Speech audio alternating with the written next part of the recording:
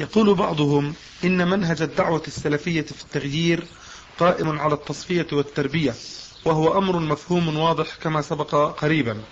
فهل من الممكن تصور التغيير المنشود لأنظمة الكفر وإنشاء الدولة الإسلامية المنتظرة نتيجة القيام بمنهج التصفية والتربية هذا فقط؟ طبعا هذا يستلزم التربية يستلزم التكتل الذي قلنا عنه آنفا. هؤلاء يسألون هذا السؤال. نحن نقابل سؤالهم بسؤال.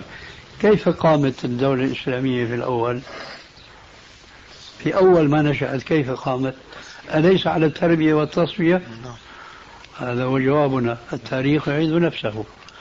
هم يتوهمون أننا نقصد التربية التصفية والتربية أننا لا نعمل لا نجاهد لا نحمل السلاح لا نقاوم الكفر. هذا ليس من من ضمن التربية والتصفية بل ذلك العكس هو من لوازم التربية والتصفية. أن نعمل لذلك لكن البحث متى يكون هذا؟ نعم. هذا هو. جزاك الله خير طيب. كان السؤال